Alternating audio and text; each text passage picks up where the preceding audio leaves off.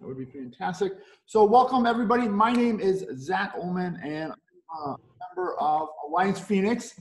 We are a now national national group. We, we got started here in Phoenix, Arizona uh, about five years ago.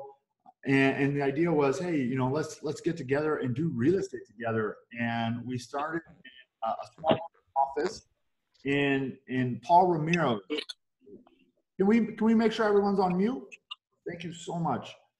Um, and uh, five years ago, and we got started with about 10 people. We are now up to uh, almost 400 people. And what we do is we have property tours every uh, Saturday to highlight one of our investors and to share what it looks like, uh, what they're doing. And today we have a very uh, special, special uh, couple. Can you guys see my screen? Everyone see my screen? Yes. All right.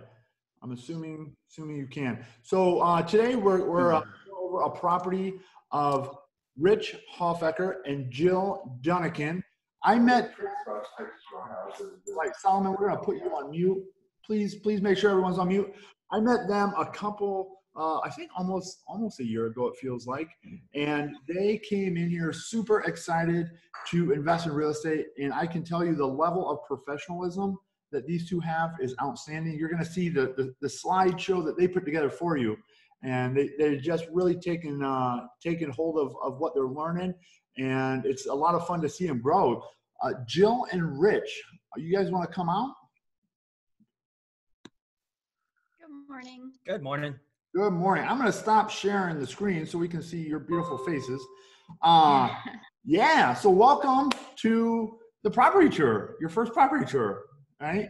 So I remember, I remember when you guys were, um, you know, guests, and you came out and you said, "Hey, I want to do this," and you did it. And you guys are students of, uh, you know, uh, you just came in and, and you did what you needed to do. And this is your first deal, isn't it?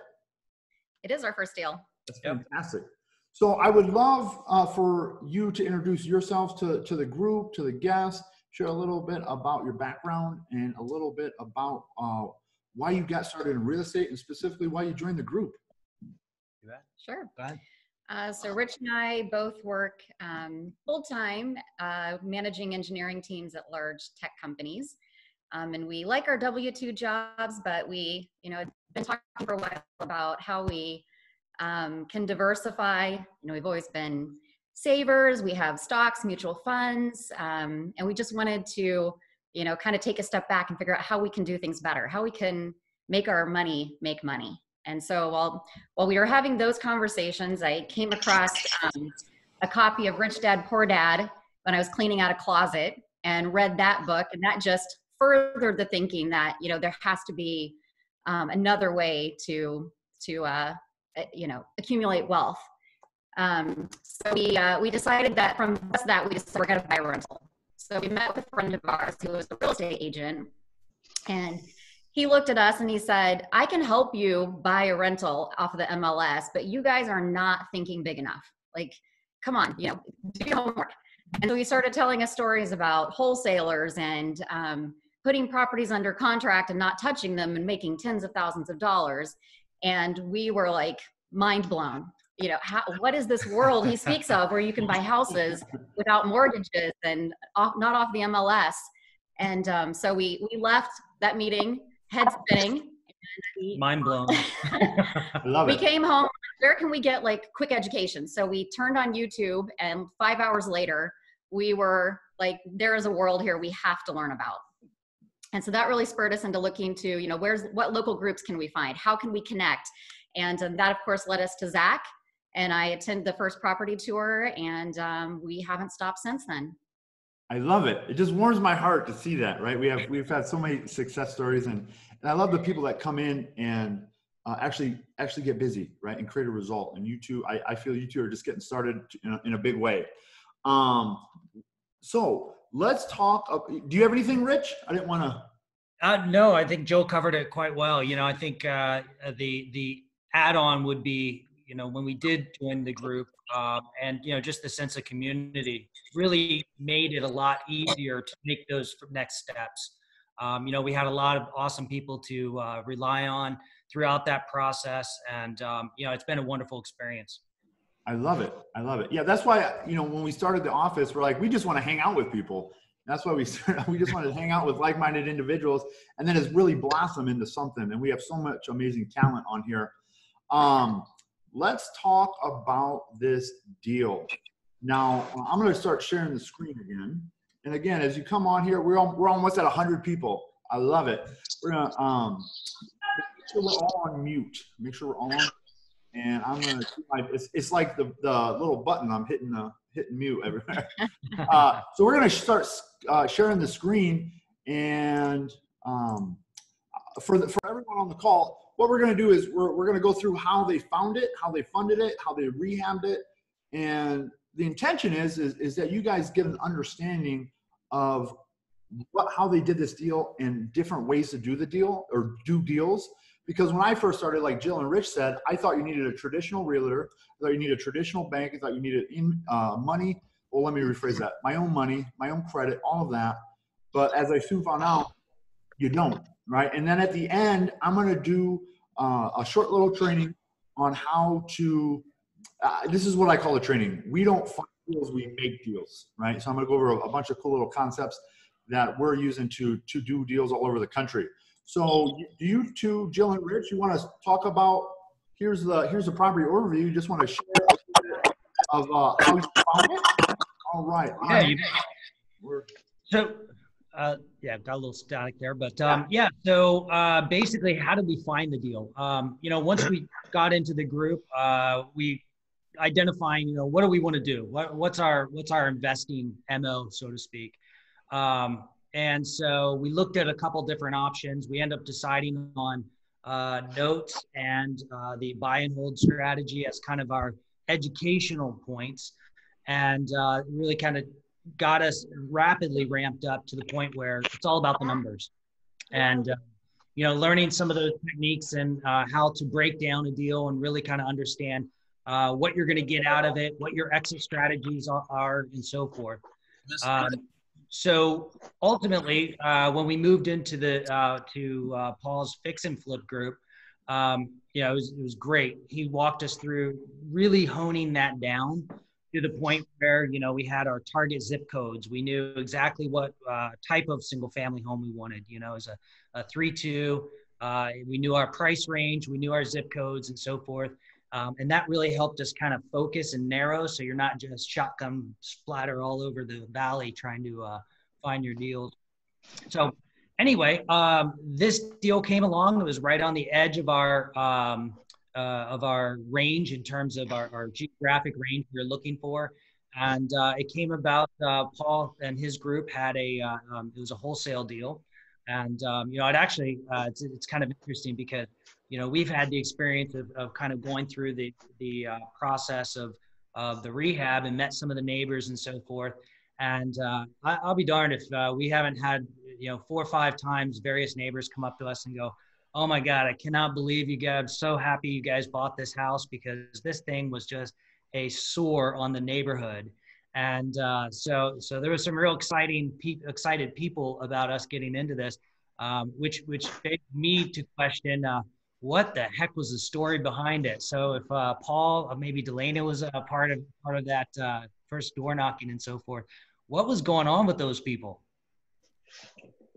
Do we have we have Paul? So so for for to share with the, the people on the call, this is the this property was found by somebody in our office, uh, Paul and Delana from Saha, and then they wholesaled it to Jill and Rich, right? So I know I was, uh, Delana, Paul, you guys want to come out and share the story behind how you found it? Yeah. I think it's funny if Paul talks first. Paul, Paul is from Tahoe. This from Tahoe. yep, I'm at my house in Tahoe because I can zoom in and uh, be with all you guys right there at uh, Jill's house in Phoenix, Jill and uh, Richie's house in Phoenix. It's pretty cool. I love it. so um, yeah, this uh, this property actually you know, we, um, my partner and I, we built a, a wholesaling company. We started in about 2012, and um, uh, so we we uh, we started out the hard way, learning everything by ourselves and all of that. Uh, we were fortunate enough to run across some people that uh, helped us learn how to do things better in a better way. Uh, and uh, we finally became uh, pretty successful at all this when we finally uh, actually ran into this group and joined this community. And at the time, we were we were building our business. we were building a, a team, and so uh, we've uh, we've we've built our business up. It's uh, it's shrank, it's built, it's shrank, it's expanded and contracted a couple of times. It's uh, back in building mode right now, but um, you know we've had uh, we've had people on our team that uh, you know participate in the sort of profit sharing of our of our deals, which is which is cool. We get to share, share the stuff, right? do know was a foreclosure and Delana, I actually cheated and went through the notes of the deal last night, so I know what went out. actually, what happened here, but uh, I'll let you go ahead and uh, share the nuances of uh, you know what we had to go through to actually land this deal. Full disclosure: this was probably the easiest one I've done. I was because I pulled up the notes too, Paul, because we go through so many properties that it's like, oh, what was this one? But just like Jill and Rich said, this was a super eyesore on the neighborhood. So as soon as we pulled up the first day to, oh, I'm getting distracted by chat. As soon as we pulled up the first day, we immediately identified as it, it as a potential vacant. So then we started looking for when we find a vacant property, we look for phone numbers and we look for relatives in the area. So then two days, it was like two or three days after we identified this property as vacant, we ended up at the owner's dad's house. And then the dad's like, his house is not in foreclosure because the son wasn't even living in the house, he was living someplace else. Owner is, um, the dad's like, his house isn't in foreclosure. And then we get a call from a very defeated son later that evening that says, my house is in foreclosure and my dad told me to call you guys. like, perfect. That's what I love to hear. So, not, you know what I mean. But um, so then, with a few days of that initial phone call, we had an appointment and got that property under contract. And then within about 30 days, I think was the time it took, because we can do closings faster, but we'd like to just give ourselves 30 days, just make sure everything's lined up for closing. But within 30 days, it was wholesaled over to Jill and Rich. So very, very straightforward deal.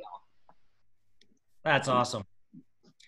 So yeah, the um, uh, so when we you know first looked at the deal, actually we were at an all day event. Uh, what was that? The foreclosures Foreclosure event workshop, uh, workshop uh, and uh, and saw that come across. Uh, Paul emailed it out, and uh, we were leaving the the foreclosure workshop and said, "Let's go check it out." And I think uh, uh you know contacted uh, Paul, said, "Hey, we're we're very interested. We're going to run the numbers. Uh, we're very numbers oriented people." Um, so you know, it's it, it's all about making sure that that works out. So we came home, uh, crunched and crunched and crunched, comped and looked at did uh, estimates on what uh, you know possible kind of uh, uh, rehab expenses, whether that would look like, and so forth. And uh, we both came to the conclusion that you know this is definitely a deal where there's something in it for us, and um, you know we'd like to to work it as a BRRRR strategy for buy and hold to put into the portfolio. So that that's kind of how we jumped on it. What? yeah, and I think we we uh, spent time uh, going through probate cases on county websites, um, you know, looking at foreclosure lists ourselves and being that we both full time, the kids are in activities, you know, we were finding the marketing piece to be hard for us to take on on top of, uh, you know, doing all the education. And so working with the wholesaler, um, you know, specifically with Delana and Paul's group, it was, you know, really an advantage for us to fast track um, getting to the property, um, and, and uh, just the help that Paul's given us in terms of connections to the contractors. Um, you know, great advice on contracts has been, uh, you know, really propelled us forward um, to the point where we were able to close on this property on Wednesday afternoon at 8 a.m. on Thursday morning. We had people there starting the remodel. So I love was, it. Uh, we could not have done that without uh, without the team behind us. Absolutely. Paul probably got tired of us coming in with questions every week. We'd have a list of notes on. uh, Paul, so we have this. I know it has nothing to do with the curriculum this week, but. Uh, I love it. That was me when I first started. I was like, what do I do now? What do I do now? What do I do now? I, I want to I want to highlight on a couple things, and then we're going to jump into the numbers and talk about how you uh, financed it. So I, uh, you said a couple key things was you you found your strategy and I think uh, when I see a lot of people get started, is they're all over the place. I know I was right. We're like, oh my gosh, did you know you could do this? Oh my gosh, did you look at this? Oh my gosh, oh my gosh, and it's like, woof, right? And then you don't do anything, right? That was that was my experience. So I, you know, I love that you guys got focused. And the other thing I love is you picked a handful of zip codes, and that's what we tell everyone on our morning call: is pick a handful of zip codes, be an expert in those zip codes. So when something comes, you can say yes or no quickly, just like you two did. I love it. Um, we can all credit That's that. all Paul. That's Paul. Paul assignment, and I do what I do. I took, I made a deck. I right. have a deck on every zip code, everything about the zip code. So it, when when this deal came up, we're like, oh yeah, that is right in our zone. We knew, but but only because Paul made us. He gave me an assignment. Right. I love it. Well, yeah, it's like you know, you just you you take it step by step by step by step, and the next thing you know, you have a deal. And yeah. so let's talk about uh, financing. I know one of the one of the big things when I first got started, and many other people is they say I want to do real estate, but I don't have the money. And at the end of this training, I'm I'm actually going to share like 20 different ways to finance a deal, and uh, so I'll share that at the end. I want to specifically talk about how you finance this deal and share a little bit about that and uh, define maybe what a HELOC is. We had some questions in the chat around that. Yeah, you bet. So um, a, uh, a HELOC is a home equity line of credit. Uh, so when we first jumped into the group, we took Velocity Banking, and uh, you know, the uh, we we are both you know kind of grew up credit's bad, don't overextend yourself, and so forth. Um, and then you know in, through Velocity Banking, and then the credit uh, uh, education, we're like, wow, okay, we've been doing things completely wrong. Um, I luckily had have another rental that I've had uh, used to be a private residence, but uh, um, you know I've since converted it into a rental. Had a ton of equity on it, so I was able to take out a home equity line of credit and have that sitting there. So I had that ready capital ready to deploy whenever needed, whenever a deal came by. Um, so we got the the property uh, from Paul for 159. Uh, the HELOC we had uh, $64,000 on that um, $40,000 of personal funds, uh, just, you know, uh, money that we had uh, been building in terms of uh, being able to get ready for an investment opportunity. Um, and then we end up taking out a $55,000 hard money loan. Um, great, great firm, 10%, uh, $700 setup fee. Uh, and, you know, that they made the process so easy. Um, it was great. Um, and then from the remodeling perspective, we knew that we were going to have to. We initially estimated between twenty and twenty-five thousand dollars remodel when we went through, and we can talk through some of those details. But um, so for the remodel, we used again some of our personal funds, uh, and then also on the the uh, uh, velocity banking, we had credit cards with 0% interest and tons of credit on it. So we would be able to use that to uh, finance portions of the remodel. And then ultimately, the whole strategy is that, you know, buy it, rehab it, uh, uh, get it rented, and then refinance it, pull our money back out, and then repeat that process again, the whole BRRRR strategy uh, that you've probably heard about. Um, so anyway, uh, in terms of purchase price, 159. The remodel was uh, turned out to be 26,000. We went slightly over for some funny reasons. Um, and then also for uh, utilities, closing, uh, interest payments, another 6,000.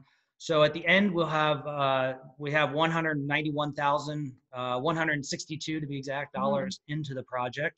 Um, and then so we actually got a pleasant surprise when we went to uh, have the house um, appraised for the remo- uh, for the refi. Um, you know, we were kind of nervous, so we were identifying based on the on the appraised value. That's going to identify how much we can pull back out. Um, our objective is to get it, have as little of our money in this as possible so that we could then go on to the next deal. So our comps had taken it to about 225. Um, and so we were really looking at that ARV of 225. Um, however, we got great news. Uh, Friday afternoon, we uh, heard that our comp came back at 250. So what does that ultimately mean? Um, it basically means that we're able to pay off uh, all but $3,662 of our uh, that we'll have left in the deal, um, and uh, basically have a property for very very little money, um, and it has you know and with a equity of about sixty-two thousand dollars. So, do you want to talk about the cash flow side of things? Um, sure. Are there any questions there? I guess uh, Zach, uh, you? Yeah. Well, I want to highlight. Man, you guys are so you guys are professionals at this. Uh, someone someone uh, asked, uh, can you explain hard money in the sense of someone asked where you got it, and then the other question was, uh, uh, the question I have is define hard money. Was did they check your income? Did they check your credit? Stuff like that. I know that's always a big question. Sure. And how how do you choose your zip codes? How did you choose your zip codes? And then I got Paul. Paul will be up next. Okay. So how we I'll do zip codes first and then the hard money. So zip codes we chose um, an area of town that had price points that we like that was close enough to us because mm-hmm. as I say we, we both work full time and then we have kids activities and things on top of that. So we didn't want to be driving you know two hours. So we really kind of said where where logistically could we manage a rental or a, a rehab? Um, and in an area where the houses are uh, in a price range that we're comfortable with because we're not comfortable buying in our own zip code. Um, so we went you know a little bit outside of that in an area that we know somewhat well. So that was kind of for us. You know we need we needed something we could manage in our time frame um, and then for the hard money loan um, so we i think our ultimate goal is to is to work with private investors but on our first deal you know we didn't have any uh, we didn't have any credit built up in the bank yet to prove that we could do this um, so hard money was a great uh, stepping stone here too so hard money is not a bank and it's not a person you know um, or a person who trusts you. It's uh, it's an institution um, or a business that's lending money. Um, but they uh, we worked with two. Um, one that was recommended to us. Another is a person that we met just networking at um, real estate education events. Um, and they essentially based the loan on the house value. So if you can show you're buying the house at this price point and the comps prove that it's likely worth this after repair value, um, they say, yep, that makes sense. It's a good deal. We'll loan you X amount of money for six months at this interest rate. And there's maybe a setup fee or a point. Um, so between the two companies that we were talking to, uh, we got different offers from both of them. You know, I then went back to both of them and said, hey, here's what the other company is offering. It's not as good as yours. They both made adjustments in their offer. So it seems like there's some flexibility in working with them. Um, and then it eventually came down to we only needed, I guess, air quotes, $55,000. One company ended up saying they wouldn't loan that little amount, and the other company did, and this was their terms. Um, so this is, we ended up going with them. Super easy process. Um, yeah, it's one of those things that seemed kind of scary, but scary. going through it took yeah. away all the fear. and there were things we didn't know and we found it best just to say you know they would ask us about some terms and things and we just said we have no idea this is the first time we're doing it could you tell us what to do and they're like absolutely yeah so they were so super helpful great. yeah um, and then one thing on the hard money uh, when you sit down and go through your closing and you're reading through the contract it sounds like you're signing away your firstborn child uh, and and they're probably not going to come back. Now, most yeah. of us can go, "Hey, that's awesome." No, I'm kidding. Um, uh, I uh, sorry. Uh, full disclosure: I have a 19 year old in college, so she's uh, yeah. It, it, I'm, I'm, kidding. Um, so anyway, it's very very scary process. Uh, when you read through that contract, it looks you know looks like very intimidating, but it's not. Um, you know, they basically just want to make sure you're honest and you're going to do what uh, you say you're going to do, and you're going to pay, uh, pay, pay back what uh, you borrowed. I love it. And then someone asked what the interest on the HELOC was. Uh, that's adjustable, and actually, that was a that was a good uh, thing. Um, initially, it started out so when I first got it, uh, well before this deal, it was towards the uh, well end of last year. Yeah, end of last year. Um, I end up getting it locked or not locked in, but a, a starting point of like 4.5 or something along those lines. Um, but more recently, with the lowering of the interest rate, it's adjusted down. So right now, I think it's at 2.8. Oh wow! Someone also asked, "What's the rate on the refi, the cash out refi?" Uh, we're actually so the numbers on this side are as estimates. We're still in the process of closing on that mortgage, um, so don't have the final number yet. We should any day. We're we're still working through that, uh, the converting that and closing the mortgage. We have the appraisal and uh, working with our broker, but yeah, so not 100% yeah. sure what it's going to come at, out at yet. And from what we've heard, uh, so we're working with a uh, mortgage lender, um, good guy, uh, knows his stuff. Uh, the initial uh, discussions were going to be in the uh, 4.5, 4.25 range because it's an investor loan. It's not a primary residence. Um, and then, but given all of the the current economic situation, it's expected to actually be below that. So we're expecting in the mid threes, maybe mid to high threes. I love it, and th- this is what everyone needs to know on this call is like this is this deal is right right now in the middle of everything going on in the world, and I mean you got above ask or uh, higher than expected appraisal. You instantly got a tenant, right? If correct me if I'm wrong, right? Yep. Uh, yep. A tenant. So you know, and I know every uh, every weekend we do a property tour, and, and, and business is still good if you if you if you buy it correctly. We always say you, you know you make money uh, when you buy, you get paid on the exit, right? So we always want to make sure that we're we're um, lining everything up appropriately. I want to I have some things I want to comment on this, but I want to bring Paul in. He's raising his hand over there. Uh, I just wanted to uh, actually address the appraised value and uh, that they got there because I think there's a very special point in there that is valuable. Uh, when we first appraised this property uh, for our sale, we were right there with Jill and, uh, and Rich at 225. We were thinking probably 230, and that's what we based our sale price off of 159, which was about 69% of the ARV at that time that we appraised it for, or that we that we valued it at. And when I looked at it last night, um, I did a quick little uh, a quick little comp. I didn't go deep into it, but uh, from what I saw there, I was looking at the fact that oh yeah, that thing's probably 240 all day long now. Which you know now that brings it down to uh, like 66% of the ARV that they that they bought the property at. And then uh, like I said, I'd like the I'd like Jill and uh, Rich to uh, speak to how they got that 250, which now brings it down to 63% of the yeah, we're, we're, so we're going to go through everything. We, we're going to, they have a whole list of remodels. We're going to go through that. We're, we got the comps. I mean, these two are professionals. They put it all together. Uh, but here's something I also want to talk about on the, uh, the cash flow is all your, they, they have $3,662 in this. And this is just a cash on cash return. Um, we also there's three other quadrants we have to look at.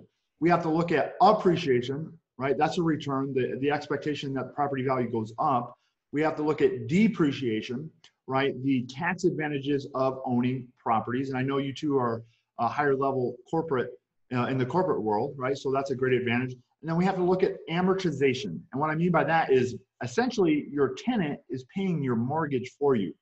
And when you add, there's so there's four quadrants that we look at, and normally I do a training on that at the end. I'm gonna uh, we'll do it some other time, but you can add all those up and and get like a hundred percent return on your money. And you can see here the annual income here is already more than the uh, actual cash they have into it. And we haven't incorporated those other three quadrants.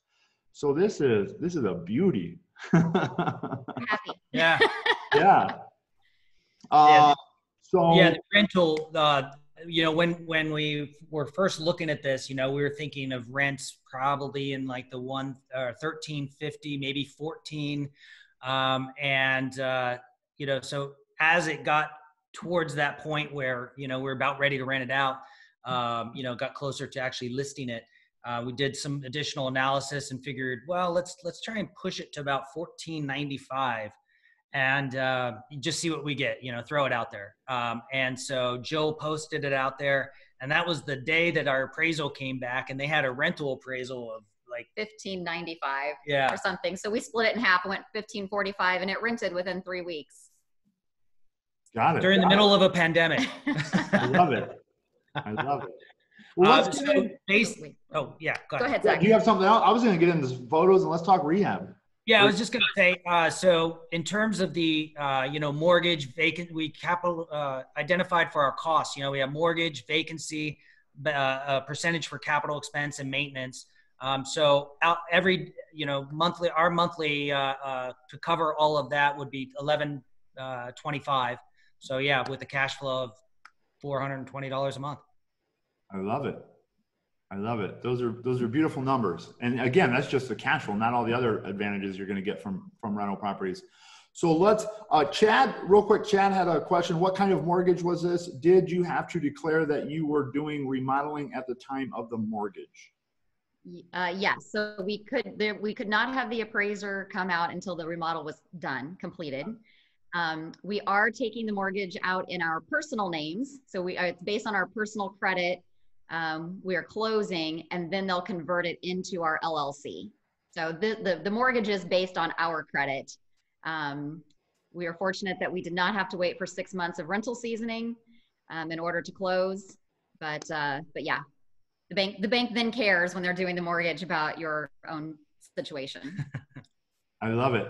Yeah. Yeah. And most, and, and this is for everyone, most long-term low interest financing is based on personal uh, personal income, personal credit. Unless you get seller financing, there's a lot of creative ways. I'm going to go over that at the end. I know um, straight 30 year term, right, Jill and Rich, on that? Yeah. Yeah. And then uh, Julio, does the 1125 include the payback of the hard money? I would I would assume that the refinance. Oh, that'll be paid. Yeah, so that'll be closed out with the mortgage. Once we close yeah. on the mortgage, we'll cl- we'll close out the HELOC. We'll pay off the hard money loan, um, we'll pay off, uh, you know, the money we still have on the 0% credit cards, and we will replenish our uh, savings account so that we can go do this again. Yeah. And uh, so what they're doing is they're taking high interest, low, uh, short term money and exchanging it for long term, low interest. And you know, Jay Jay made a comment here says there are loans out there uh, again that are based like they just got a big portfolio loan that aren't based on credit and aren't based on income. They're based on the income of the property, the asset. But there's there's a whole world of financing. Uh, I, but I want to get into the, the photos of rehab. So let's talk about rehab. This is this is a beauty. you could it say was that. Disgusting. you know, for us, we walked in and uh, we looked at some other properties before, and um, you know, they needed complete schools redone in the back, walls moved. Um, so this one was the right amount of mess for us.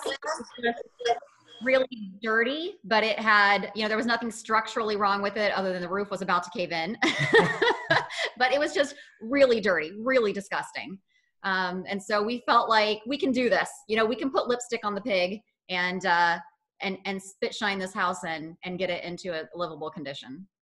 I love it, and that's I you know I I think that's great. You know, understanding because everyone has a different um, skill set, and you know, taking on huge projects your first deal can be can be uh, challenging. I'll put it that way. If you're tearing out walls and adding additions, if you don't have that skill set, this looks like a great little, like you said, a great little uh, fixer upper.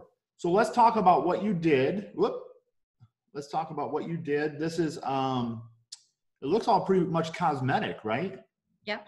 By and large, yep. And to be clear, it was the awesome craftsman that uh, actually did the work. Uh, uh, you know, we were very fortunate enough to uh, get connected with some really quality people. Um, uh, uh, Mike and his brother Julio. I think Julio is a member of the community. they they did an awesome job for us. took care of so many things that really really uh, uh, made this made this project go so much smoother. Um, so it was my hats off to those guys. Yeah we did we hired him to, to do the floor tear out and install and then we said and can you do this and this and this and this? And so it was and he, great. and he yeah he did them all so we couldn't have done it without yeah help. absolutely. Um, the roof was just a, a just a disaster. There was like literally there was plywood showing through the the the uh, the um, shingles. So uh, complete roof roof repair, uh, remodel or re- replacement. Yeah, you know, uh, soup to nuts on that. Um, so we had a prior relationship with a uh, uh, awesome painter that I've used for multiple other locations, um, and um, you know, personal houses and my other rental. And uh, he did a great job. So we had that lined up, the roof. Um, ultimately, we had uh, found out that the AC needed to be replaced. So uh, that was a, uh, a bit of a, a, surprise. So luckily, we were able to save in other areas. It uh, really, Joe, I think it kind of became a, a balancing point. Like yeah. throughout the whole project, you know, we'd have those good days where like, hey, we just saved two thousand dollars, and then those days were like, oh, damn it, five thousand dollars gone. You know. it was. Yeah, like we, we ended up. Buying, go ahead, Joe. Go ahead. I was gonna say we ended up buying all of the appliances um, through B and B Appliances, which is a resale like uh, Scratch and Dent. Um, but that saved us a thousand dollars on you know refurnishing the entire kitchen with new appliances. So for that we were like, yay! And then the next day we found out we had to put in a three thousand dollar AC. well, I'm, I'm looking at your numbers, and this is, I mean, you guys are great, and this is where I see a lot of people. This is it having a great a you got to buy it right, but b the contractors and and the cost uh, you know on the fix and flip is so important. And what you guys did for twenty six thousand dollars is phenomenal.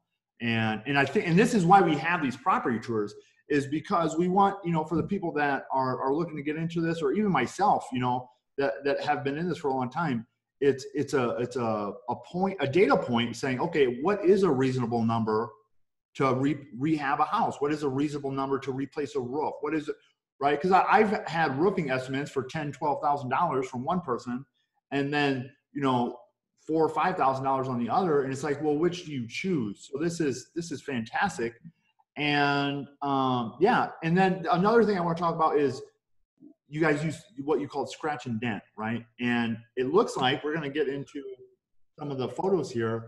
It looks like, did you guys paint the cabinets? We did. We did that ourselves. and Rich actually put the can lighting in. So we, we took on more projects than we wanted to, but uh, again, it, it saved us. It took our time, but it saved our money um, to paint the cabinets ourselves and um, do some other handyman projects around the house. This is my handyman. Yep. I, you know, I was actually fortunate. I had a couple days on my day job, uh, uh, vacation days to burn. Uh, it was a use it or lose it situation. So I was sitting out there at the house painting uh, cabinets, getting uh, you know colored hands. I was uh, looked like a Smurf running around for a while. Um, but no, it was great. so some of those type of projects we were able to take on. Um, uh, the you can see the can lighting. Uh, they removed the uh, what fluorescent. Those, fluorescent. I don't know what what were they thinking in the 80s. um, so. Uh, I don't think we included a picture of it, unfortunately. Right. But. but. it had, you know, those fluorescent lights. Uh, so uh, pulled that box down and, and uh, framed that, or not framed it out, but uh, uh, mudded that out and uh, did some knockdown, put some uh, can lights in there, so it really bright, uh, made the place bright. Yeah, cleaning i think goes so far right if you just clean a place like yeah. And then here here's something that's very crucial for everyone on this call is not over rehabbing right? Because i looked at the comps we're going to pull up the comps here in a minute uh, because it would have been a total waste of money to spend uh, on new cabinets and, and things. So you guys did a great job there. And you got it up to the level of the comps. Now, what I see a lot of times people do is they'll either over rehab, spend way too much money because they, you know, they want it their way, or they'll under rehab it and try to take a shortcut and you know not not have that uh, up to the quality of the comps. Now, depending on where you're investing, is you know depending on that that, and we're gonna pull up some comps. Uh, we have some. Oh, some one comment here too. Uh, yeah, so for the master bath that's showing here, um, we had to pull that bathtub out and the surround. And so that was, we were trying to decide there, do we tile it in? It's going to look better. And we ended up pulling up, you know, looking at other homes in the neighborhood just on the MLS. And we could, from every house we looked at, the bathtubs just had the vinyl surround. So that made it easy for us to say, okay, we, tiling it is going to be over the top. We don't need mm-hmm. to spend the money on $3,000 for tile. Instead, we can spend $300 on a vinyl back. Um, but we did use you know, did research on the market to determine what we should do um, on these areas. I love it. Yeah. So I we have some questions. Uh, and and did you create the projected repair cost list, or did you find the list and edit it?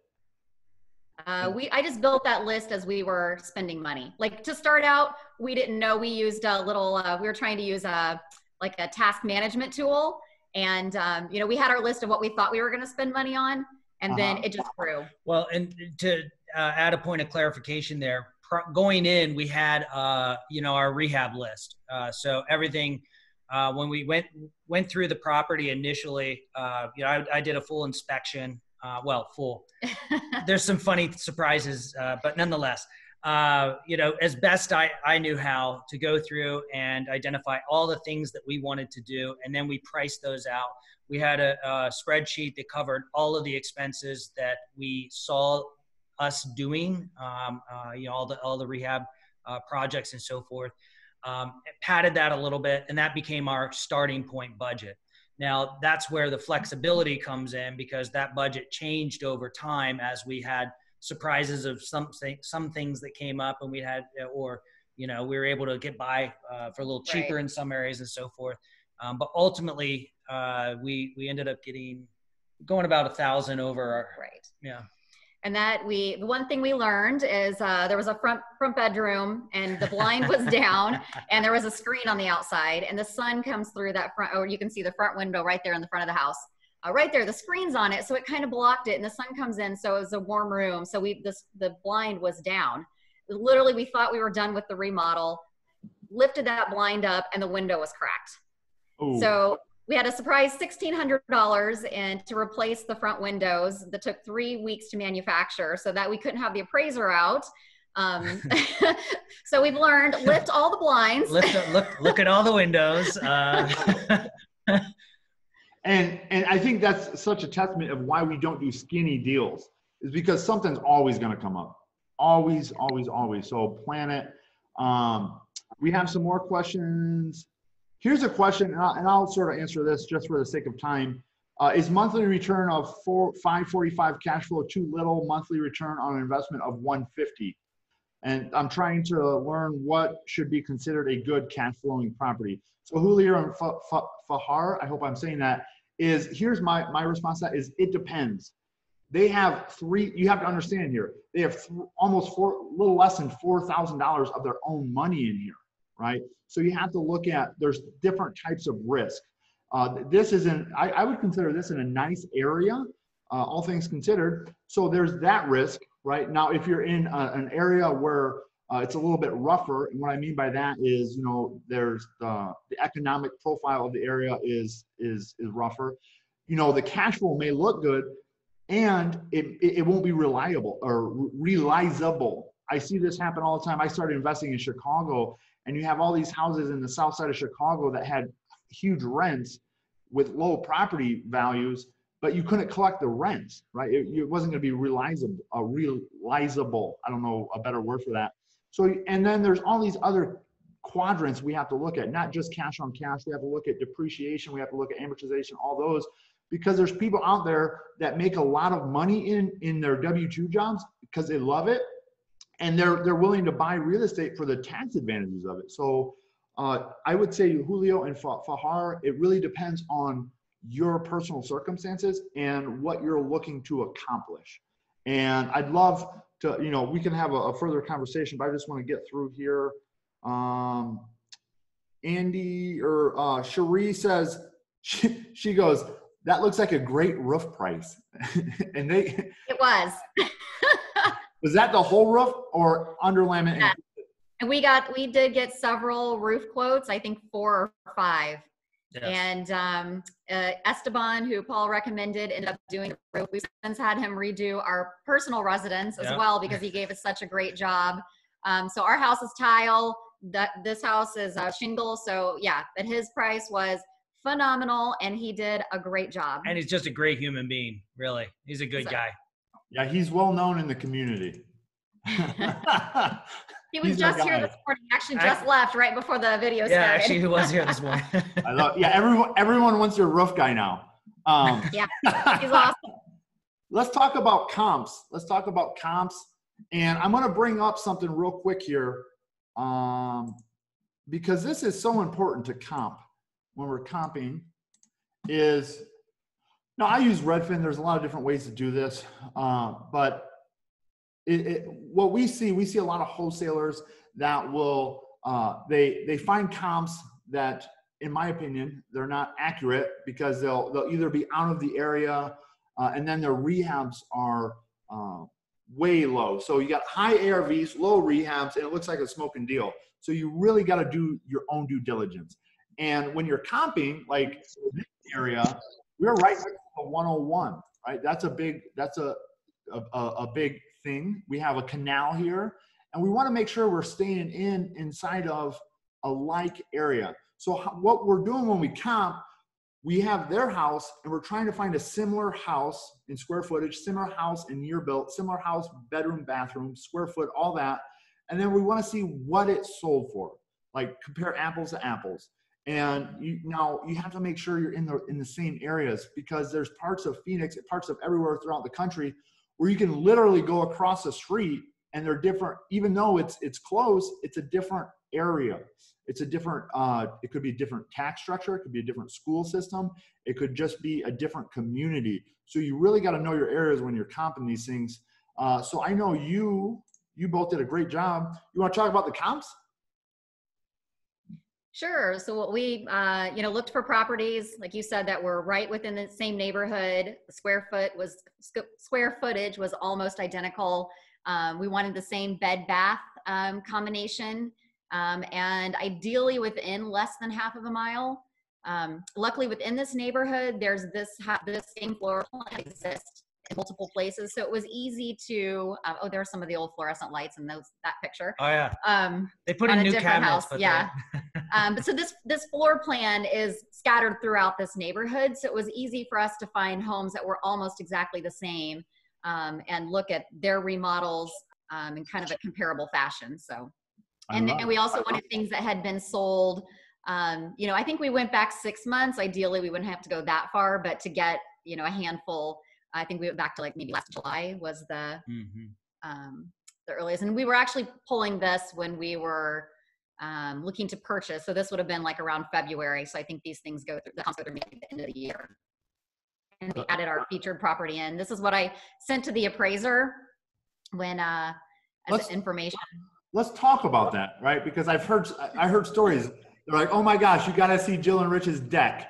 They're talk about well, so what we did to get this above above uh, this high appraisal? you know, I, I don't know. This is our first time, so we don't know if we're lucky or if we're uh, skillful.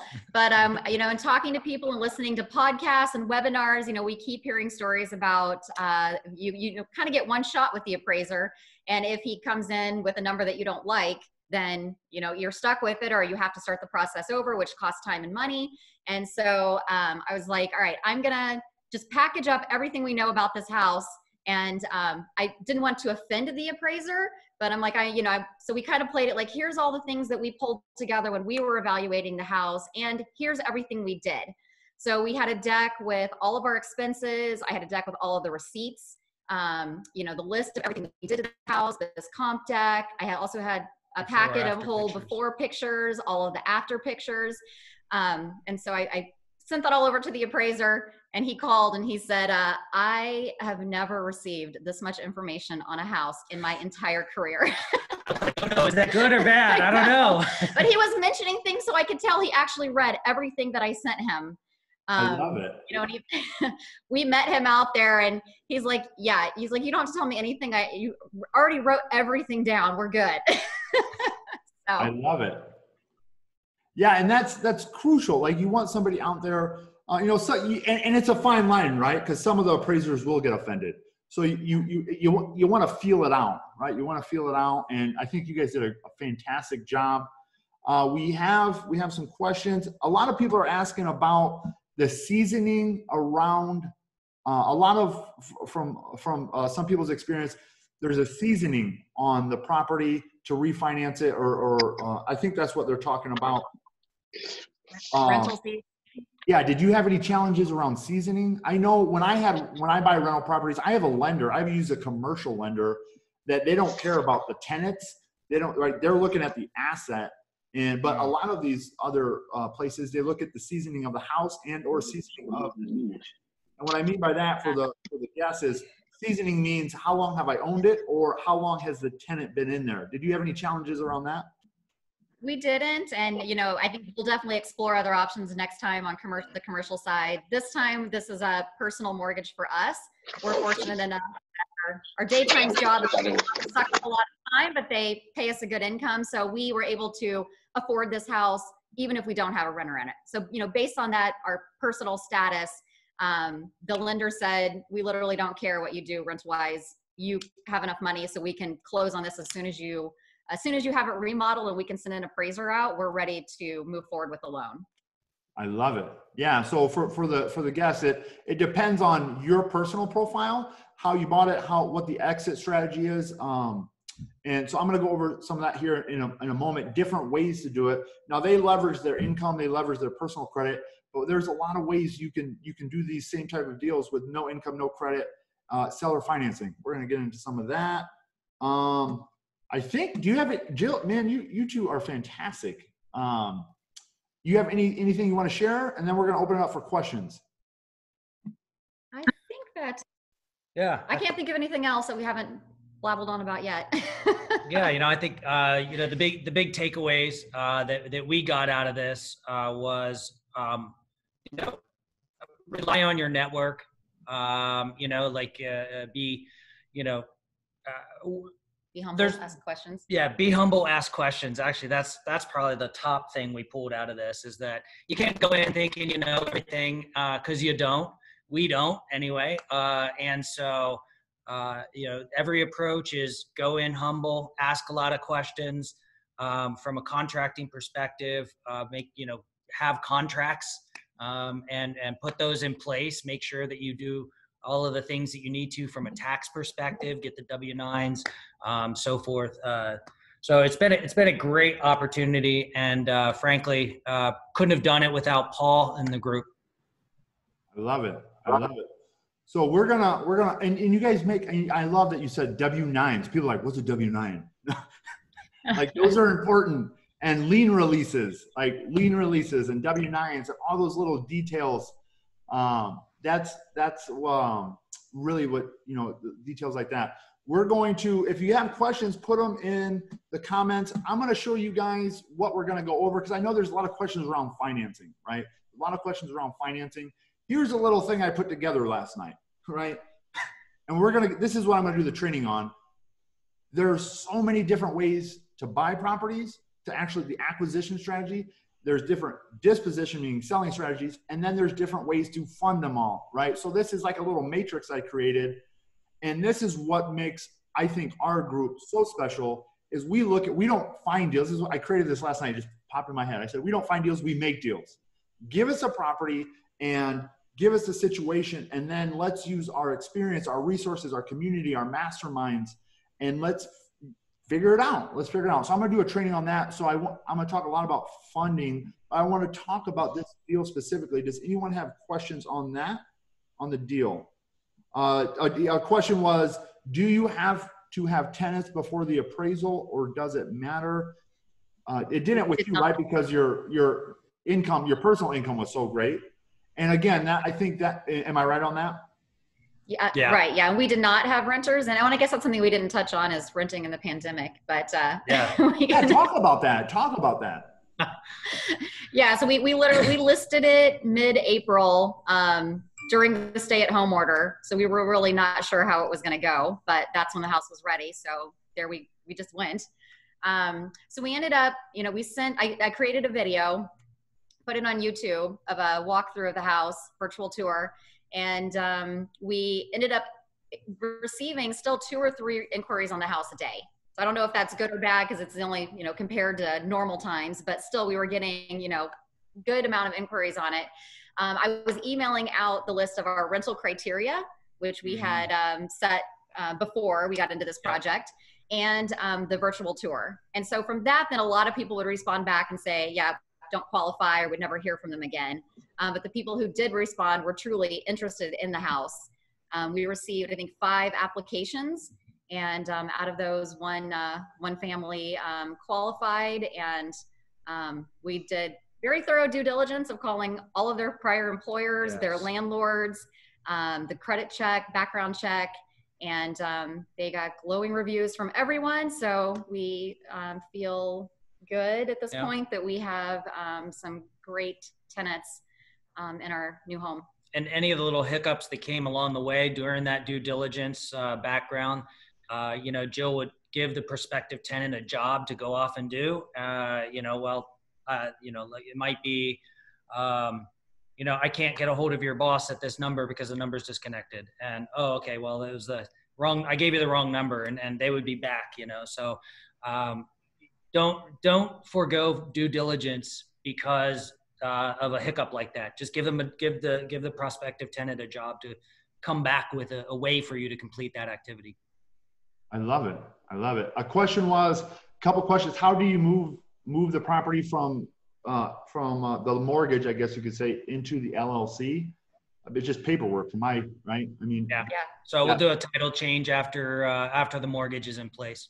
Yeah. So it's just paperwork on the back end.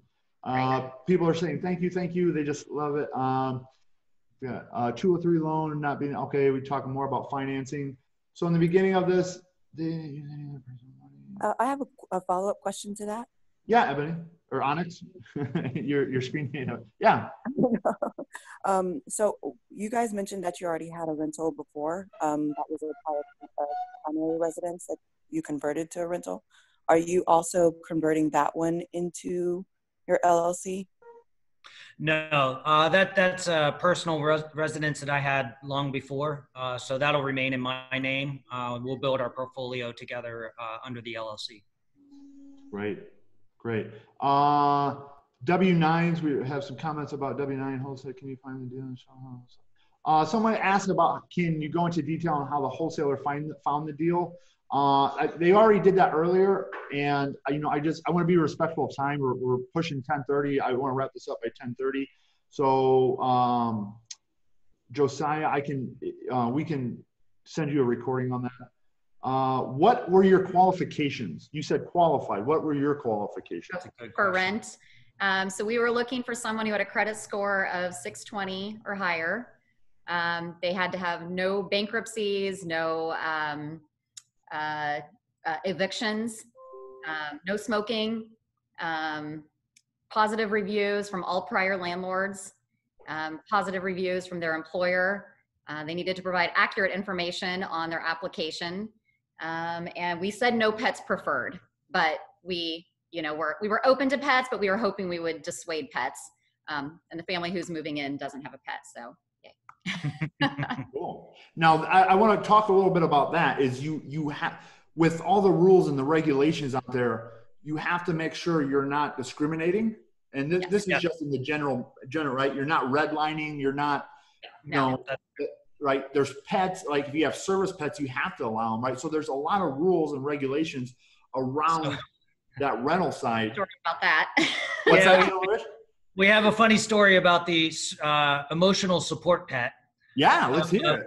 Yeah, so uh, one of the prospective tenants, uh, a couple of a couple of guys, younger guys, um, they were talking to us about the the uh, um, you know we are talking to them about uh, our criteria, and one of the guys says, "Well, um, you know, my my buddy, he may have a, a he may have pet, a pet, or it might be an emotional support pet," and we're like, "What?" It might be. What do you mean might be? so uh, Jill sent a, a note said, well, uh, you know, if if it is, then uh, we'll just need to see documentation of it.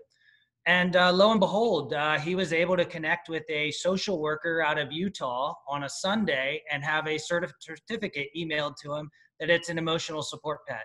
Wow. So, yeah, there's no way around that. There's nothing you can do. We looked at it, uh, nothing. Um, but in terms of the overall criteria, what we do is use a point system. So uh, a lot of these, you know, some of these are hard uh, and fast rules, or uh, you know, otherwise, uh, and some are a little bit more squishy. So we will assign points based on the uh, the actual results, and then ultimately, if they uh, the first the first person that applies that has over a seven in our point scale, then we offer them the place. So, and I love that. And that's really what I know Chris Wilson really teaches that is like, you know, if, if you treat everyone the same, right, using like a point system, it's, you know, and, and you have to, you have to understand again, the rules and the regulations and how to use that, but you got to treat everyone the same. And as long as you're doing that for the most part, right, for the most part, you, you can uh, say Larry, another big concern uh, not just with uh, understanding how to handle the emotional support animals, is you know as we as we evolve in the community is uh, I know a lot of people talk about the medical marijuana. Like, what can you you can't right? There's that's a whole aspect of it. So you can't have smoking, but you know that's that's a, a real conversation. So you really got to know how to handle those things so you're not discriminating. I don't want to get into that because that's a again we want to be responsible. I just want people to know. Uh, there was a question. and it is. So we we got uh, someone had a question about. I've read that switching the title to an LLC looks suspicious to the IRS. Uh, they're tamping down on that. Here's the thing. Uh, that's Ben and Irene. Here's the thing on that. If done correct, there's a correct way to do almost everything, right? And, and you have to know that the correct way and, and make sure you're using the uh, professionals that know how to do that. So that would be my comment on that. Uh, people are just proud of you. Is is it considered discriminatory practice if I choose to provide a 10% discount to veterans? I'm not going to give legal advice, so I would say consult consult an attorney on that. Um, once you once you provide a zip how much you said focus on? Okay, we got a couple. We were in round. Oh, we got a couple other great great uh, comments. I want to get wrapped in up. Uh, do you have anything else, Jill and Rich, before we, I want to talk about our masterminds. I want to bring Jay Tenenbaum out and a couple other people to talk about masterminds. But before we do that, do you have anything to share? No, no. thanks for the opportunity. Yeah, it's you. been, it's been great. Um, like I said, couldn't have done it without the community. I love it. I love it. Well, I, we're proud of you, and you know, thank you for uh, coming out today, and keep it up, right? Keep it up. We just love love having successes, and you'll definitely be back again. I want to share with everybody a little bit more about our group. So we uh, we we do a lot more than just what you saw today. We we're doing almost every type of deal you can think of out there, and we highlight those on, on different deals on different Saturdays. And we have masterminds. So we have masterminds every Wednesday where we actually get together and and have a conversation like this, put deals together. And, and then we have calls Monday, Tuesday, Wednesday, Thursday, Friday every morning, 8 a.m. to 9 a.m. And we're doing the same thing. So I want to bring Jay Tenenbaum out. He actually facilitates or runs the masterminds.